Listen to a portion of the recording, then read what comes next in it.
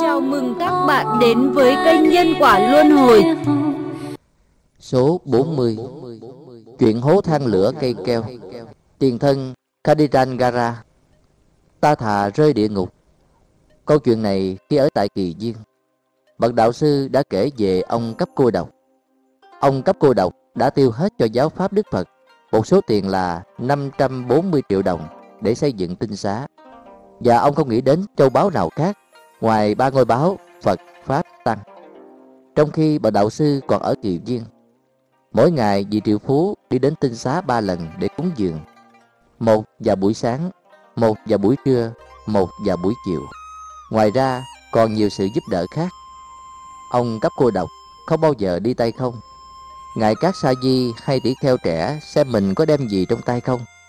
Buổi sáng, ông đem theo cháo.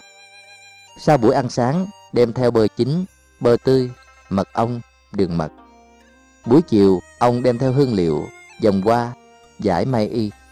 Ngày này qua ngày khác, vì ấy tiêu dùng như vậy không hạn chế. Ngoài ra, nhiều người sống bằng nghề buôn bán, tự tay trao phiếu nợ. Mượn ông tài sản ước lượng 100 triệu đồng và vị đại triệu phú không đòi họ trả. Còn những gia sản khác trị giá 180 triệu đồng được chôn cất trên bờ sông.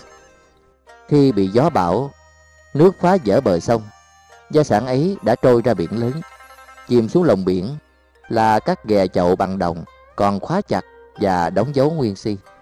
Trong nhà vị triệu phú luôn luôn có phần cơm cho 500 tỷ kheo. Nhà vị đại triệu phú giống như cái giếng trong xanh ở ngã tư đường cho chúng tỷ kheo, như ngôi nhà cha mẹ đối với tất cả đại chúng. Vì vậy, bậc chánh đẳng giác thường đi đến nhà vị triệu phú. 80 đại trưởng lão cũng đi đến, các tỷ kheo khác cũng đến và đi không kể xiết. Nhà vị đại triệu phú có đến 7 tầng lầu, được trang hoàng với 7 cửa gác. Tại cửa gác thứ tư của ngôi nhà ấy, một thần nữ có tà kiến thường trú. Khi bậc chánh đẳng giác vào nhà, thần nữ ấy không ở được trong lầu của mình, đã đem theo mấy đứa con nhỏ xuống ở tại tầng cuối cùng. Khi 80 đại trưởng lão và các trưởng lão khác đến và đi, thần nữ ấy cũng phải làm như vậy.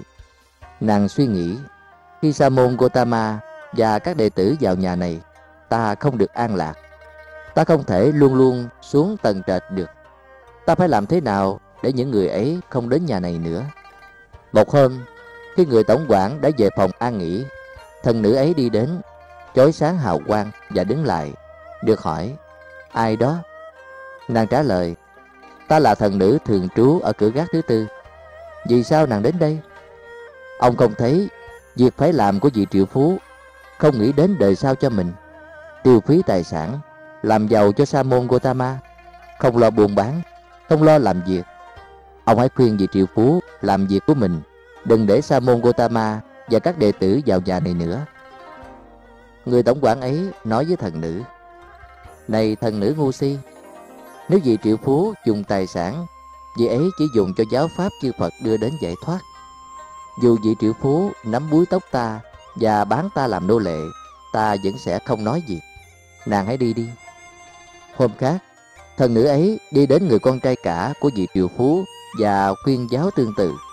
Người con trai cả cũng mắng nàng như trước Nhưng nàng không dám nói việc này với vị triệu phú Do bố thí không ngừng nghỉ Do không kinh doanh Tiền thâu vào ít dần Tài sản gì ấy đi đến khánh tận. Dần dần triệu phú rơi vào cảnh nghèo thiếu Gia sản, áo quần, sàn tọa, thực phẩm không còn được như xưa. Dầu ở trong tình trạng như vậy Ông cấp cô độc vẫn cúng dường chúng ta.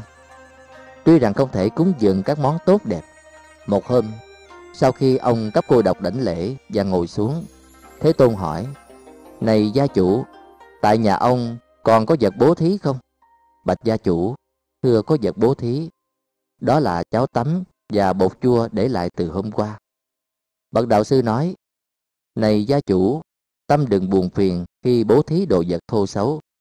Khi tâm tốt đẹp, thì đồ vật cúng dường chư Phật, độc giác Phật, đệ tử của chư Phật cũng không trở thành thô xấu. Vì sao? Vì quả dị thục to lớn. Ai có thể làm tâm tốt đẹp, thì vật bố thí không thể thô xấu được. Như vậy ông cần phải hiểu biết. Và Đức Thế Tôn đọc bài kệ. Khi tâm được tình tính, bố thí không gọi nhỏ, cho Như Lai, chư Phật hay cho đệ tử Ngài, không có cúng dường nào được xem là bé nhỏ. Thế Tôn lại nói thêm, Này gia chủ, ông cúng dường món ăn thô xấu, nhưng cúng dường tám bậc thánh nhân. Trong thời Velama, ta làm náo động cả diêm phù đề với việc bố thí bãi thứ báo. Trong khi đại bố thí, ta làm chúng tuôn chảy như làm năm con sông trở thành một dòng thác. Nhưng ta không tìm được ai thọ ba quy y hay giữ năm giới. Những người xứng đáng được cúng dường như vậy thật khó kiếm được. Do vậy, khi bố thí cho ta đồ ăn thô xấu, tâm ông chớ buồn phiền. Sau đó, bậc đạo sư nói kinh Velamaka. Bây giờ thần nữ ấy không dám nói với người triệu phú khi vị ấy đang có quy quyền lại suy nghĩ. Nay vị triệu phú này gặp tình cảnh khó khăn, có thể nghe theo lời ta. Nghĩ vậy, nửa đêm, thần nữ vào phòng vị ấy chiếu sáng hào quang, đứng giữa hư không. Vị triệu phú thấy nàng liền hỏi, Ngươi là ai? Này đại triệu phú, ta là thần nữ ở cửa gác thứ tư. Ngươi đến có việc gì? Ta muốn nói lời khuyên ông. Vậy hãy nói đi. Này đại triệu phú, ông không nghĩ đến thời sao không nhìn đến con trai, con gái. Ông đã tiêu phí tài sản cho giáo pháp của Sa môn Gotama. Do ông đã phung phí tài sản lâu ngày, do không làm công nghiệp mới, vì Sa môn Gotama, ông trở thành nghèo thiếu. Sự việc đã như vậy, ông vẫn không từ bỏ Sa môn Gotama. Hôm nay, các sa môn ấy vẫn đi vào nhà ông như trước. Những gì họ đã lấy đi từ ông, không thể đem về lại được. Hãy tin chắc là như vậy. Nhưng bắt đầu từ nay trở đi, ông chớ tự mình đi đến Sa môn Gotama. Chớ cho phép những đệ tử của Sa môn vào nhà này nữa. Hãy xoay lưng, không nhìn Sa môn Gotama nữa. Hãy tự mình kinh doanh, buôn bán và xây dựng lại sản nghiệp. Vì triệu phú nói với thần nữ, có phải đấy là lời khuyến giáo ngươi cần nói với ta? Đúng như vậy.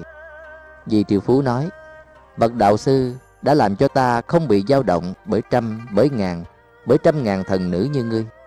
Lòng tin của ta như núi tu di không dao động, được khéo an trú. Tài sản của ta tiêu dụng cho pháp bảo đưa đến giải thoát. Lời ngươi nói không thích đáng, là một đòn do ngươi đánh vào giáo pháp Đức Phật. Có quỷ đen thiếu lễ độ, theo ác giới, không có vấn đề ngươi sống chung trong nhà của ta. Hãy ra khỏi nhà ta mau, đi ở chỗ khác. Thần nữ nghe lời nói của vị thánh đệ tử đã chứng quả dự lưu, không thể ở lại, bèn về chỗ ở của mình và bồng con ra đi với ý nghĩ nếu ta không tìm được chỗ khác, ta sẽ xin lỗi vì triệu phú và sẽ trú tại đấy. Nghĩ vậy, nàng đi đến vị thiên tử hộ trì thành phố, đánh lễ vị ấy rồi đứng dậy. Khi được hỏi, nàng đến có chuyện gì? Nàng trả lời, thưa thiên tử, tôi vô ý nói chuyện với ông cấp cô độc, nên vị triệu phú giận tôi, đuổi tôi ra khỏi nhà ở. Hãy đưa tôi đến vị triệu phú xin lỗi và xin cho tôi được trú tại nhà như cũ. Nhưng nàng đã nói với vị triệu phú những gì? Bắt đầu từ đây, chớ hộ trì Phật, chớ hộ trì chúng tăng, chớ để Sa môn Gotama vào nhà. Thưa thiên tử, tôi đã nói như vậy. Lời nàng nói không chính đáng, là một đòn đánh vào giáo pháp. Ta không thể đưa nàng đến gặp vị triệu phú được. Không nhận được sự ủng hộ từ vị này, thần nữ đi đến bốn đại thiên dương, cũng bị bốn vị ấy bác bỏ. Thần nữ đi đến thiên chủ đế thích, thuật câu chuyện ấy và yêu cầu giúp đỡ khẩn thiết hơn. Thưa thiên chủ, con không được chỗ ở, phải bồng con trên tay. Con lang thang không nơi trú ẩn. Với quy lực của Ngài, hãy cho con một chỗ ở. Thiên chủ trả lời, Ngươi làm điều không thích đáng, đã đánh một đoàn vào giáo pháp của bậc chiến thắng. Ta không thể nói với vị triệu phú dùm cho ngươi, nhưng ta sẽ nói với ngươi một phương pháp làm vị triệu phú tha thứ ngươi. Thưa thiên chủ, lành thai, xin nói lên. Có nhiều người đã mượn của vị đại triệu phú một số tài sản trị giá 180 triệu đồng. Ngươi hãy giả dạng người đại diện cho vị triệu phú mà không cho ai biết. Cầm giấy mắc nợ ấy với một số dạ so trẻ dây quanh. Một tay cầm giấy nợ, một tay cầm biên lai, đi đến nhà họ, đứng ở giữa nhà, dọa nạt họ với quy lực dạ xoa của mình và nói Đây là giấy nợ của các người. Khi bậc triệu phú của chúng ta có quy lực đã không đòi hỏi gì các người. Nay gặp cơn nghèo túng, hãy trả lại tiền các ngươi đã mượn. Với quy lực dạ xoa của ngươi, ngươi sẽ lấy lại được tất cả 180 triệu đồng vàng ấy. Đổ đầy kho bạc trống không của vị triệu phú. Vị triệu phú còn có tài sản khác chôn giấu ở bờ sông Asiravati. Khi bờ sông bị lở, tài sản ấy bị trôi vào biển. Với quy lực của ngươi, hãy đem số tài sản ấy về, đổ đầy kho bạc. Lại còn một tài sản khác nữa, trị giá 180 triệu đồng, nằm chôn không chủ tại một chỗ nào đó. Hãy lấy đem về, đổ đầy kho bạc trống không. Với 540 triệu đồng ấy, ngươi đổ đầy các kho bạc trống không, lấy đó để đền tội, rồi đến xin vị đại triệu phú tha tội cho. Thần nữ đáp, tốt lành thai thưa thiên chủ. Thần nữ chấp nhận lời thiên chủ, mang lại tất cả tài sản như đã được nói. Nửa đêm, thần nữ đi vào phòng trực trở của vị triệu phú, chiếu sáng hào quang, đứng giữa hư không. Được hỏi là ai, nàng đáp. Thưa bậc đại triệu phú, tôi là thần nữ mù quán ngu si ở tại cửa gác thứ tư. Do tôi quá ngu si, không biết công đức Đức Phật đã nói với Ngài những lời lỗi lầm trong những ngày trước. Hãy tha lỗi ấy của tôi. Theo lời Thiên Chủ Đế Thích, tôi đã đòi lại số tiền nợ 180 triệu đồng cho Ngài. Đã đem lại số tiền 180 triệu đồng bị trôi ra biển và một số tiền 180 triệu đồng khác được chôn giấu vô chủ tại một chỗ nọ. Như vậy tôi đã mang lại 540 triệu đồng đổ đầy các kho bạc trống rỗng của Ngài để chuộc lại tội lỗi. Số tiền Ngài đã tiêu dùng cho tinh xá kỳ duyên, tất cả nay đã được thâu lại. Tôi vì không có trú xứ nên rất khổ sở. Chớ nghĩ đến những gì tôi đã làm do sự vô trí của tôi. Hãy tha thứ cho tôi, thưa bậc đại triệu phú. Ông cấp cô độc nghe vậy, tự nghĩ thần nữ này đang nói đã lập công chuộc tội và đã nhận tội của mình. Bậc đạo sư sẽ suy xét việc này và sẽ cho nó biết những công đức của mình ta sẽ đem thần nữ đến gặp bậc chánh đẳng giác.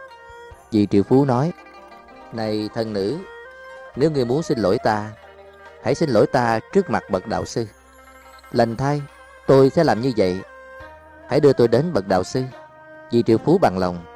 Khi đêm đã tàn, vào buổi sáng, vì triệu phú đem thần nữ đến bậc đạo sư và báo cáo với Đức Như Lai tất cả việc làm của thần nữ. Bậc đạo sư nghe xong liền nói, Ở đây này gia chủ, kẻ làm ác, khi điều ác chưa chín mùi, kẻ ấy thấy là thiện. Khi điều ác của kẻ ấy chín mùi, chỉ khi ấy, kẻ ấy mới thấy là ác. Kẻ làm thiện, khi điều thiện chưa chín mùi, kẻ ấy thấy là ác. Khi điều thiện của kẻ ấy chín mùi, chỉ khi ấy, kẻ ấy thấy là thiệt. Sau đó, Bậc Đạo Sư nói lên hai bài kệ này trong Pháp Cú số 119 và 120. Người ác thấy là thiện, khi ác chưa chín mùi. Khi ác nghiệp chín mùi, người ác mới thấy ác. Người hiền thấy là ác, khi thiện chưa chín mùi. Khi thiện được chín mùi, người hiền thấy là thiện. Cuối bài kệ này, thần nữ chứng quả dự lưu. Nàng đánh lễ chân có tô điểm bánh xe của bậc đạo sư và nói Bạch Thế Tôn, vì bị nhiễm tham ái, bị sân kích động, bị si mờ ám, bị vô minh bao phủ, con không biết những công đức của Thế Tôn đã nói những lời ác, xin tha thứ cho con. Rồi nàng được bậc đạo sư tha thứ và được vị đại triệu phú tha thứ. Lúc bấy giờ ông cấp cô độc ở trước mặt bậc đạo sư nói lên công đức của mình. Bạch Thế Tôn, thần nữ này đã cố sức ngăn chặn con. Chớ cúng dường Đức Phật, dân dân, nhưng không có thể ngăn chặn con được. Nàng đã cố ngăn chặn con, chớ bố thí, nhưng con giận bố thí. Bạch Thế Tôn, đấy là công đức của con. Bậc đạo sư nói, Này gia chủ, ông là thánh đệ tử, đã chứng quả dự lưu. Có lòng tin bất động, có tri kiến thanh tịnh. Thật không có gì kỳ diệu là ông đã không bị ngăn chặn bởi thần nữ bất lực này. Nhưng có điều thật sự kỳ diệu là người hiền trí thuở quá khứ. Khi Đức Phật chưa xuất hiện, khi trí tuệ chưa chín mùi, dầu ác ma, chủ cõi dục giới đứng giữa hư không nói lớn. Nếu người bố thí, ngươi sẽ bị thiêu sống trong địa ngục này. Và chỉ rõ một hố đầy than hừng sâu đến 80 phỉ tay. Dầu bị ngăn, chớ bố thí, người hiền trí vẫn đứng giữa đó sen bố thí như thường. Nói vậy xong, theo lời yêu cầu của ông cấp cô độc, bậc đạo sư kể câu chuyện quá khứ. Thuở xưa, Khi vua Ramadatta trị vì ở Ba La Nại, Bồ Tát sanh ra trong một gia đình một vị triệu phú ở Ba La Nại, được nuôi dưỡng trong sự xa hoa như một hoàng tử. Khi đến tuổi trưởng thành, vừa mới 16 tuổi, Bồ Tát đã đạt đến điêu luyện trong tất cả kỹ thuật. Sau khi cha chết, được đặt lên địa vị triệu phú, Bồ Tát cho xây dựng sáu trường bố thí, bốn nhà tại cửa bốn thành, một nhà tại trung tâm thành, một nhà trước cửa trú xứ của mình, và tổ chức bố thí lớn, giữ giới, tuân giữ những ngày Bồ Tát. Một hôm trong giờ điểm tâm, khi các món ăn hảo hạng được mang vào cho Bồ Tát, một vị độc giác Phật sau bảy ngày thiền vừa xuất định và nhận xét. Đã đến giờ đi thất thực, nay ta phải đến nhà của vị triệu phú Ba La Nại. Sau khi chùi răng với que đánh răng bằng cọng trầu leo, rửa mặt tại hồ Anotapa, rồi đứng trên cao nguyên Manosila. Vị độc giác Phật mang y dưới, cột dây lưng, đắp y ngoài, lấy bình bát bằng đất do thần thông quá hiện, đi ngang qua hư không và đứng trước cửa nhà. Trong khi bữa điểm tâm được mang vào cho Bồ Tát, Bồ Tát thấy vị độc giác Phật, liền từ chỗ ngồi đứng dậy, nhìn người đứng hầu, chỉ rõ cần dân cúng món ăn. Người hầu nói, Thưa ông chủ, con phải làm gì? Bồ Tát nói, hãy đem bình bát vị ấy lại đây. Ngay trong thời khắc ấy, ác ma lồng lộn hiện lên, tự nghĩ, vị độc giác Phật này chỉ được đồ ăn từ bảy ngày trước. Nếu hôm nay không được ăn, vị ấy sẽ chết. Ta sẽ làm vị ấy chết và làm vị triệu phú chấm dứt việc bố thí. Ngay lúc ấy, ác ma đi đến.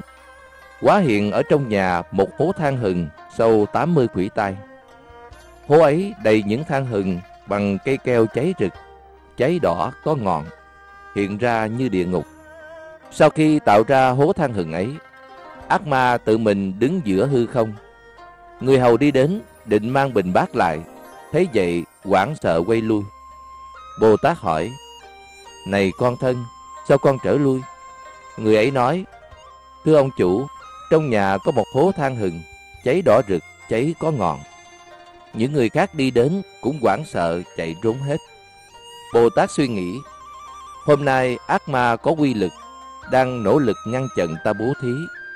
Ta cần phải cho nó biết, dù trăm ma, ngàn ma, trăm ngàn ma, cũng không làm cho ta dao động. Hôm nay chúng ta sẽ làm cho chúng thấy ai mạnh hơn ai, ai có quy lực hơn ai. Bồ Tát tự mình cầm lấy bát cơm đã sẵn sàng, đi ra khỏi nhà. Đứng ngay trên bờ hố than hừng, nhìn lên trời, thấy ác ma liền hỏi, Ngươi là ai? Ta là ác ma. Có phải ngươi quá hiện hố than hừng này? Phải, chính ta quá hiện. Vì mục đích gì? Vì mục đích ngăn chặn ngươi bố thí. Vì mục đích giết mạng sống của vị độc giác Phật. Bồ Tát nói, ta sẽ không cho ngươi ngăn chặn ta bố thí. Ta cũng không cho ngươi giết mạng sống của vị độc giác Phật. Hôm nay, ta sẽ làm cho ngươi biết giữa ta và ngươi ai có sức mạnh lớn hơn. Vẫn đứng trên bờ hố than hừng, Bồ Tát nói, Bạch Thế Tôn, độc giác Phật, dầu con có rơi đầu lộn ngược vào hố than hừng này, con vẫn không trở lui. Mong Thế Tôn chấp nhận món ăn do con cúng dường. Rồi Bồ Tát đọc bài kệ này, Ta thà rơi địa ngục, chân trên, đầu phía dưới, ta sẽ làm việc thánh. Hãy nhận lấy món ăn. Rồi với quyết tâm vững chắc, Bồ Tát cầm bát cơm, bước lên mặt phố than hừng. Khi Bồ Tát làm như vậy, từ mặt phố than hừng sâu đến 80 quỷ tay, mọc lên một đóa hoa sen tuyệt đẹp, đỡ lấy chân Bồ Tát. Từ hoa sen ấy, nhụy sen khoảng chừng một đấu lớn phun lên, rơi trên đầu bậc đại sĩ, phủ khắp toàn thân như rắc hột vàng. Bồ Tát đứng trên đóa hoa sen, đặt vào trong bát vị độc giác Phật những món ăn thượng vị khác nhau.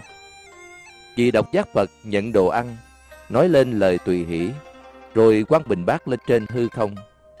Và ngay trước mắt của đại chúng, tự mình bay lên hư không về phía Hy Mã Lạp Sơn, để lại một đường mây gồm nhiều hình thù kỳ diệu đặc biệt.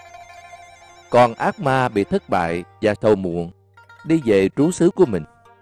Bồ Tát vẫn đứng trên tòa sen, thuyết pháp cho đại chúng, tán thán bố thí, giới đức và cùng với đại chúng dây quanh bước vào trú xứ của mình. Bồ Tát trọn đời làm công đức, rồi khi mạng chung đi theo nghiệp của mình. Bậc đạo sư nói, này gia chủ, việc này không có gì kỳ diệu khi một người đầy đủ tri kiến như ông không để cho thần nữ làm dao động. Thật sự kỳ diệu là những gì bậc hiền trí đã làm trong thời quá khứ.